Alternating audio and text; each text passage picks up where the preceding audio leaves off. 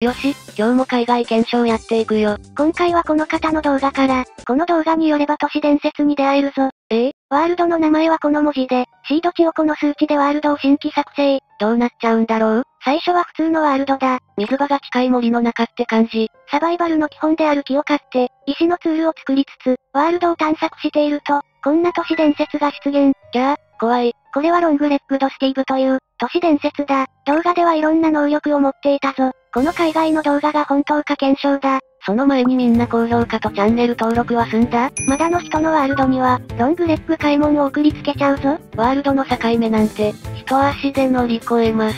見た目がアンバランスすぎてキモい。それは失礼でしょ。この動画の目標は高評価が3000件で。チャンネル登録は650人だぜ。それじゃ都市伝説が現れるワールドを検証だ。わかったよ。まずはワールド名だね。動画と同じ文字を入力してっと。よし、それじゃあシード値だ。こっちはワールド名に入ってた数字を入れる？そういうことだ。これまでの目撃情報から、この方法が確立されているらしい。なるほどねうん、準備できたよ。それじゃあワールド新規作成だ。いざ、検証開始。はい。本当に都市伝説が現れるのかな？どうだろうな？ワールド生成と同時にガブ、と行かれたりして？あわわわ、ガクガク、ブルブル。ビビりすぎてて草。お？ワールドが生成されたぞ。うわー、食べないで僕より博士の方が美味しいよ。おい、というか何もいないぞ。あれ？本当だ。よかったー。あ、あんなところにチェストがあるよ。ボーナスチェストか。入手しておいたらどうだ？ラジャー、お、昨日のが入ってる。よし、これでチェストを、チェス、ト、ヌワン、壊せないよ。きっと都市伝説の異常なんだ。あ、悪い。それモッドの影響だわ。都市伝説関係ないんかい。昨日の以外を使えば破壊できるぞ。ほんとだ。でもいつ都市伝説が現れるかわからない。こんなワールドなんて怖すぎるよ。僕は部屋にこもらせてもらう。おいそれ死亡フラグ。ここから一歩も動きたくないでござる。それじゃ検証にならないだろ。何か音が聞こえない？本当だ。一体何の音だ？はあ、なんて涼やかで魅惑的な音なんだろう。癒される音の主、僕、気になります。おお、開門が缶桶から出たぞ。部屋だし、缶桶じゃないよ。あ、あそこにいるのは、アレイだな。そっか、魅惑の音の正体はアレイだったのか。しかしなぜこんなところにアレイがいるんだ？え？アレイは全焼基地か森の洋館で、囚われているのが普通だ。こんな風にフリーで現れることなんてないぞ。それじゃあこのアレイは、都市伝説と関係があるのかもな。そんなはずない。だってこんなに可愛いんだよ。いや、可愛いは関係ないだろ。敵だとしたら都市伝説の手下かもしれないぞ。いや、僕はこのアレイを信じるよ。このアレイが安全だと思えない視聴者は、アレイが怪しいとコメントしてくれ。そんなことないよ。安全だよって思う人は、アレイは友達ってコメントしてよ。検証を続けていけばその辺も明らかになるだろう。みんなチャンネルはそのまま。おい、アレイくん、どこ行くの？開門のやつ、結局無防備についていってるぜ。あはは待ってよ。うん？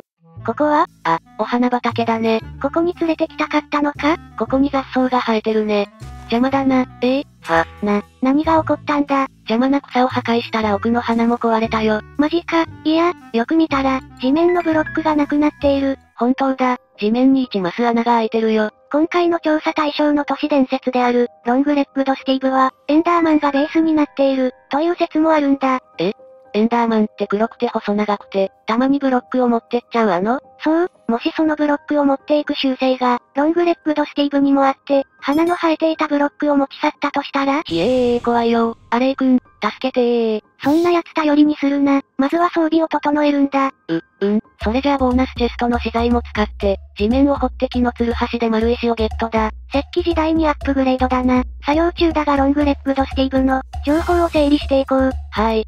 どんな都市伝説なの？これがなかなか不思議な話でな。とあるプレイヤーがモッドの開発で、エンダーマンのフォルムでスティーブの外見をした、新しいモブを作成していたんだ。普通に怖そう。だがモブを作ったところで力尽きたのか、そのプレイヤーはモッドの開発をやめちまった。せっかく作ったモブのデータも削除したんだと。あらら、残念だね。だがそのプレイヤーはある日驚愕することになる。なんと削除したはずのモブが、別の人が遭遇した都市伝説として、ネットで紹介されてたんだからな。な、なんだってそんなわけでエンダーマンとスティーブが、融合したような都市伝説の調査を引き続き頼むぞ。はい。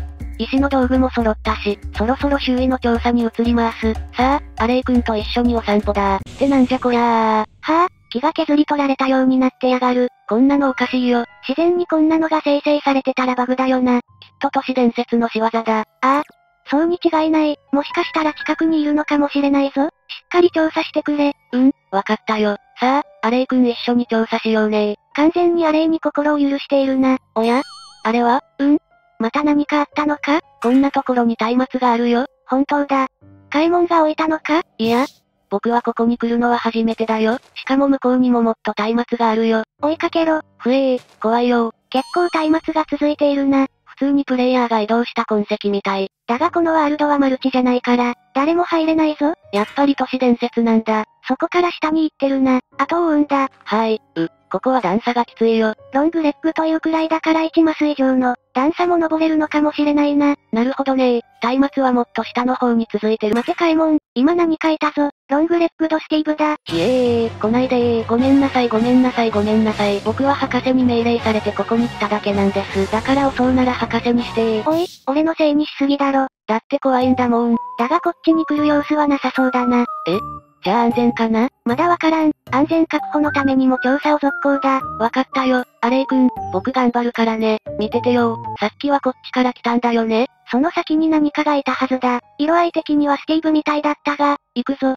ごくり。ってあれ？何もいないよ。本当だ。どこかへテレポートしたのか？テレポート？さっきも言ったが、ロングレッグドスティーブは、エンダーマンがベースだとすると、テレポート能力も持っていると考えるのが普通だ。確かに、開門を脅かして満足してテレポートで、どこかに行ったのかもな。それならいいけど、おこの辺は鉄がいっぱいあるね。お、いいじゃないか。その鉄で装備を強化できるぞ。確かに、それじゃあ掘っていくよ。でも掘るのはいいけどドロップ品を回収するのが、面倒くさいな。だったらアレイに鉄の原石を持たせるんだ。同じアイテムがドロップしたら、回収して持ってきてくれて便利だぞ。そうなんだ。やってみよう。おい、アレイ君、これをお願い。うむ。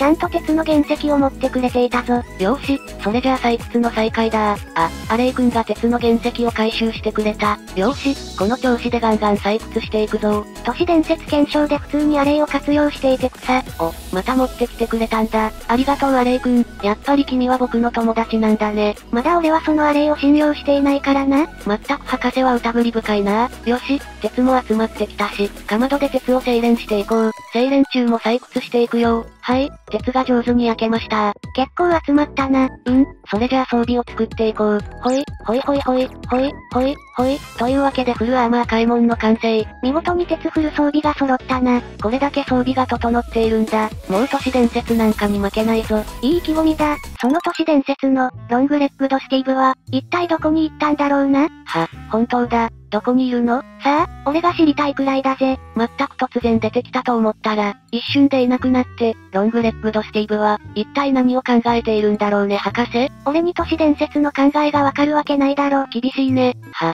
いたぞ、ロングレッグドスティーブだ。開門行け。ウェーン、やっぱり怖いよおい、怯えるな。あ、アレイ君、僕を励ましてくれてる？そうだね。ビビってばかりじゃいられない。行くぞ。うおー、ぐ、なんだ？画面が振動しているぞ。しかも相手に近づくほど振動が強くなる。うわー、は、収まった。おい、カイモン、ロングレッグドスティーブはどこだ？え？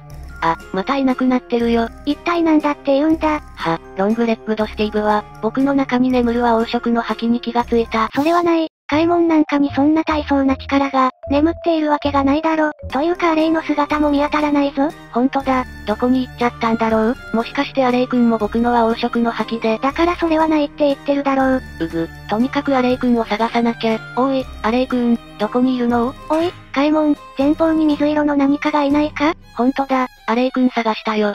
って何してるの？ずっと地面に突撃してる。なんか怖い。これも都市伝説のせいなの？よくわからんがかなりシュールな光景だな。アレイ君には悪いけど僕、花坂じいさんの童話で犬が、ここ掘れワンワンってやるシーンを思い出したよ。確かに、ここを掘って欲しそうだ。待てよ。え？そうか、穴を掘って都市伝説と対話することが、できるようになる儀式があるぞ。え？えそんな方法があるの？オッケー、早速やってみよう。アレイ君の言う通りここを掘ってみるね。お？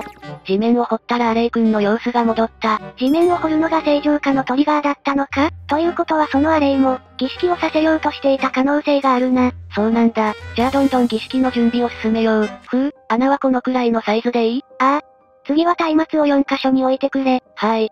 ここだね。そしたら看板をクラフトしてくれ。うん、いよいよ儀式だね。その前に作業台も片付けなきゃ。天井も埋めるんだぞ。わかったよ。これでよし。それじゃあ看板を真ん中に置いて、メッセージを書くんだ。はーい、ロングレッグドスティーブさん。このワールドにいるんですか？これでオッケー。それじゃあ少し離れるんだ。うん、壁を掘って、このくらいうむ。看板を見て反応を待つぞ。わかった。どうなるんだろう？うらー、真っ暗になっちゃった。これが正常な反応だ。ロングレッグドスティーブが、返事を書いているんだ。そうなんだ。あ、アレイ君、君だけは暗くても見えるのが癒しだよ。まあそれがアレイの仕様だがな。あ、明るくなった。看板はどうなっている？文字が変わってるよ。なんて書いてあるの？ Yes。はい。